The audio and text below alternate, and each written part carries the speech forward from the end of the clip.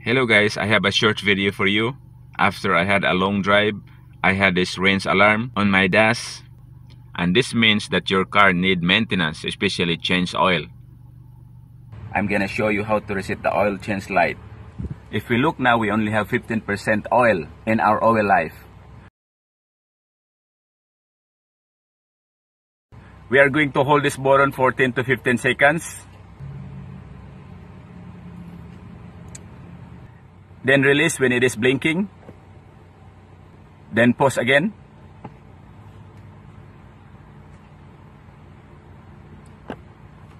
Now it is 100%.